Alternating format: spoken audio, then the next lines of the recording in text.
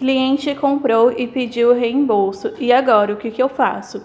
Quando o cliente compra e pede reembolso, a gente tem uma escolha de aceitar automaticamente o reembolso ou então a gente abre uma disputa e nessa disputa a gente coloca os nossos pontos de vista. A gente coloca o porquê não aceitar aquele reembolso. Se o produto foi enviado corretamente, se está tudo certo, você não é obrigado a fazer o reembolso. E a Shopee fica responsável por analisar quem está certo e quem está errado.